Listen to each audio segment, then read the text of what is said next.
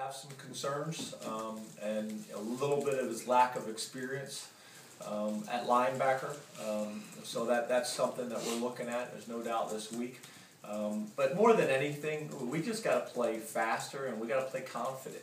Um, I think there was times last week where we didn't do that. We weren't playing with the same type of swagger and confidence we've had in the past. But then as soon as we got that big play from Stephen Clark, you saw it. You start, you saw, you saw it show up on offense, defense, and special teams. So, um, as much as it is, you know, lack of experience in some positions and things like that, we just we got to go play to win. We got to go play to win the game and be aggressive.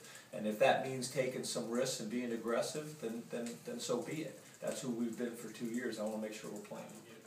Well, I believe in that in the first quarter it was missing for us. Um, we have to run to the football. I mean, we have to dominate people. When we come out on that field and it's a one-on-one battle with somebody, you have to beat them, and that's got to be the mentality that you're going to line up and you're going to wear this guy out for four quarters, and it's going to be a nightmare for him. And that's not the mentality that we came out with, obviously, as a defense. And so we've got to step up from there and really uh, bring it this week.